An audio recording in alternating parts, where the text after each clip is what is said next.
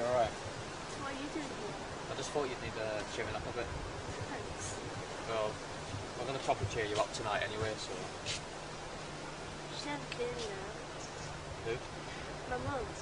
She's pissed already. She'll go to sleep and she'll realise tomorrow. Banquet. There's always a day late, your mum. Come sit on my favourite bench with me. Come on, now. Just, come on. She was the only one who could control my mum's drinking binges. Every time this time comes round, it's like a slap in the face. She was the only one who could control it, and now I can't manage it. Yeah, but you were 15. It's, it's, it's a lot for you to take on I know what you mean, but I'm just kind of thinking, nobody's perfect. Yeah, but I'm really angry at Mark right now. I could literally kung fu his face off. I'm just so angry with him. No, Jack, don't do that. It's my fault. Well, how is it? Because he's supposed to know. He's the one that's supposed to be with you and know you. I'll take full responsibility for it. I didn't tell him.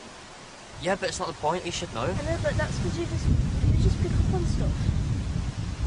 Like I picked up on the fact that you were cutting up a bit. Yeah, I know, but it just takes the pain off of. Pain makes you stronger. Yeah, but it's not supposed to take the pain away in that sense, you thinking. You're starting college soon. You, you know, you need to start living your own life. You're always right.